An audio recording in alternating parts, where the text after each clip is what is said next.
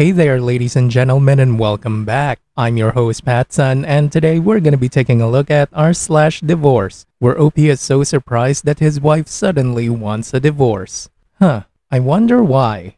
Let's find out. I deserve better. Posted by Reddit user Chaotic Little Gemini. That's what she told me last night. After 11 years, she's throwing it all away.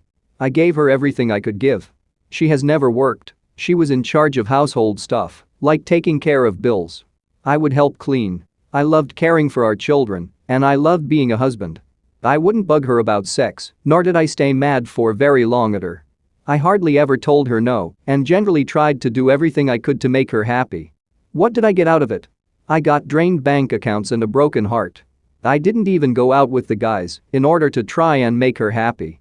I completely lost who I am in an attempt to make her happy.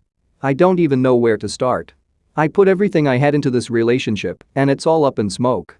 Like good luck finding better when you do absolutely zero to add to a relationship and instead wreck it with the negative attitudes and how everything will always just go wrong mince it. I'm sorry for the post, just lost and need to vent.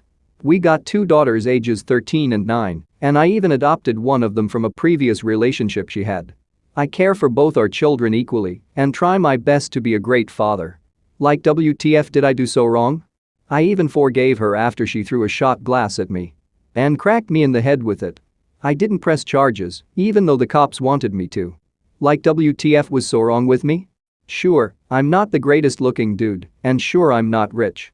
But I'm retired from the military, and I work my ass off to provide. I still do household chores when I'm off, and I don't complain. Like I can't figure out what's wrong with me, that my wife just suddenly decided she deserves better and is ending our marriage after 11 years. Edit 1. Thank you everyone for the advice, and yeah, I'll admit I was too nice and completely lost myself. I was just trying to be a good husband, and I thought that's what was required. Our dynamic was very chill, and we had an amazing time together. These last few years have been hard, but hey, they've been hard for everyone. But literally we were just wrestling and laughing and then boom, I want a divorce because I am not in love no more and I deserve better. Like completely out of left field.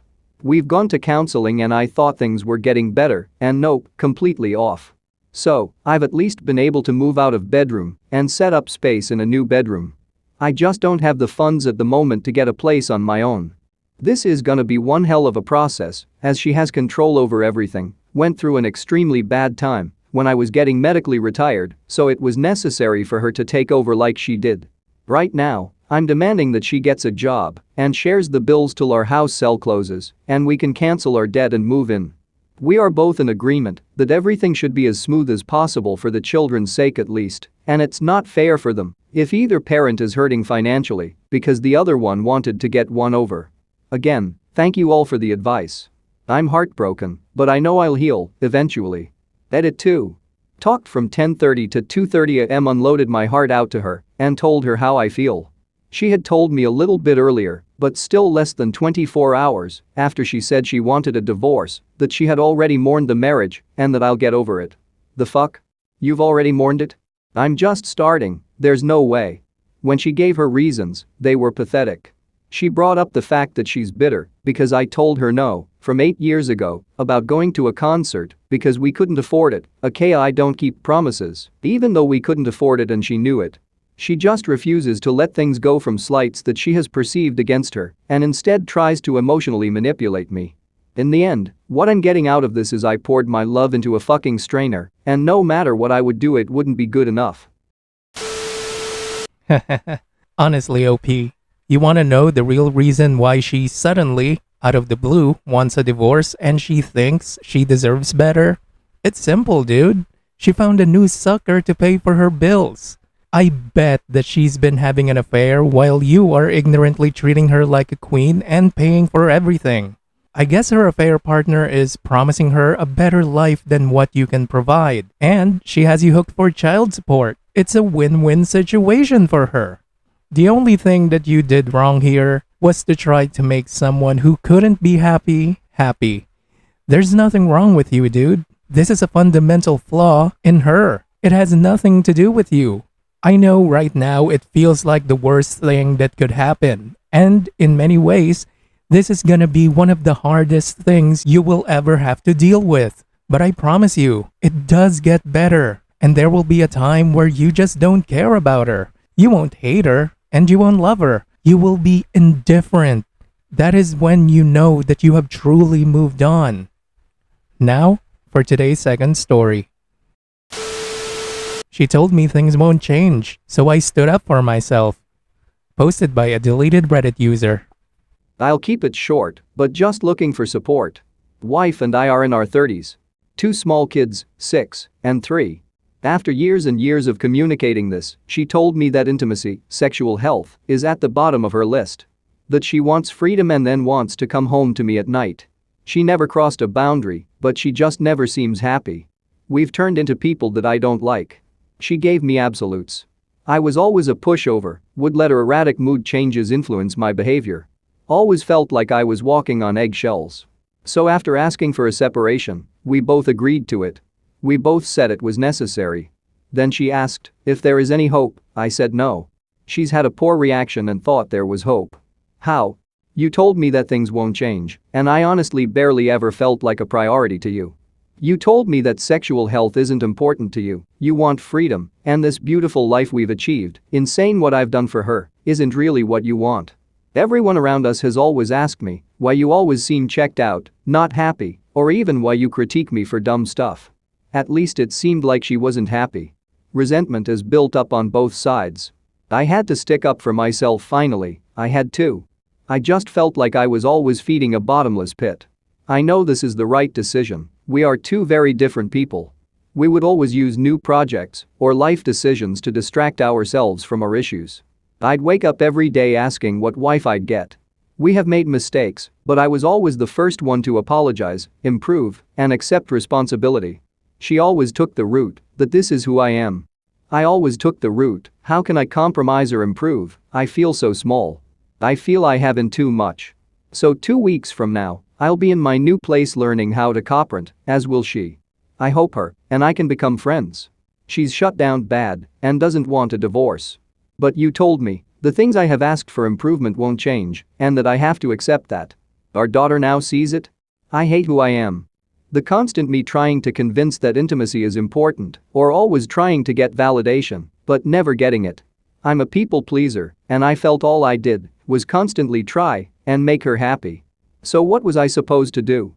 Repeat our cycle of fighting that we hate so much? Isn't there a point where enough is enough? Will I be judged as a man for this by others? Should I care? I feel like I'm trapped and I had to do this. I felt my mind slipping. Trying to constantly convince or change myself. I took selective serotonin reuptake inhibitors to kill my libido so I wouldn't desire her as much. What have I become? Does it get better? House sells in 10 days. Everything has been split 50-50ths. Signed and notarized, pre-settlement divorce so what was I supposed to do? Repeat our cycle of fighting that we hate so much? So I go to therapy on Thursday. I'm in great shape and will continue to hit the gym. Have people around me. She seems so lost and sad, but I can't give in anymore. All she has done was blame me. OP, I am so happy that you finally found your spine and now you're using it as a weapon to finally get the freedom and happiness that you truly deserve. That's truly amazing. We're so proud of you, man. I mean, walking on eggshells, constant criticism, random blowups, those are all signs of emotional abuse. In the short term, yeah, admitting that you're a victim of emotional abuse will fuck with your head. But in the long term, understanding this will set you free and allows you to truly find your strength. And it starts by standing up for yourself. And that's exactly what you did. Look, for what it's worth, the issue is not that you two are completely different people. The issue is that your wife is too selfish to make a partnership work, and she's unwilling to work on herself, let alone compromise. And let's not forget, she's abusive. No matter how hard you try, you will never be able to make things work with that woman. Good luck, OP. And now for today's final story. Look at all those sluts. Posted by Reddit user Dorothy Rules. One random Sunday, my soon-to-be ex-husband walked by the TV. I had the news on. Women were shown protesting against the impending ruling to overturn Roe v. Wade. He laughed and said, Look at all those sluts. That was my moment of clarity. We have a 14 year old daughter and 16 year old son. He's got no empathy unless he's been in the exact situation. I stared at him and said something about women being in difficult situations. He exploded berating me and lecturing me on abortion. I suddenly realized I had stayed way too long, walked on eggshells far too much, and could no longer keep the real me locked up inside. As soon as I quit managing his emotions, all hell broke loose. I told him I wanted to break up. He was blindsided and furious. I feel badly about doing this so abruptly. He screamed at me, started arguments, blocked me from leaving rooms or the house to try and force me to engage. He even called my brother and my therapist and tried to convince them I am a terrible person and to stop supporting me. He stalked and harassed a couple we were friends with because they were choosing me. They no longer speak to me for fear of him tormenting them. He turned his entire family against me. I am not close with my family. His family has been my only family for the last 17 years. And so, I am almost completely alone. I have my children with whom I am very close, and my brother who is 3,000 miles away, I am very close with him as well. And yet I am convinced I made the right decision. The last few months have been hell on earth for me. I was hoping I would feel relieved not having to cater to him anymore. Dinner on the table, taking care of the children, working full time, all laundry, cleaning, bills, school duties, etc. He mowed the lawn and worked a physical job, so he was always too tired to help after work. I don't feel relieved, I feel worse. But I'm hopeful that someday I will feel better. Look, OP, at first remembering clearly all the pain does somewhat make it hurt worse because you've spent so long in denial. You've spent so long excusing his shitty behavior and taking to heart every hurtful thing he said to you. You have to finally acknowledge just how abusive your husband has been and all the ways in which you abandoned yourself in order to not be rejected by him.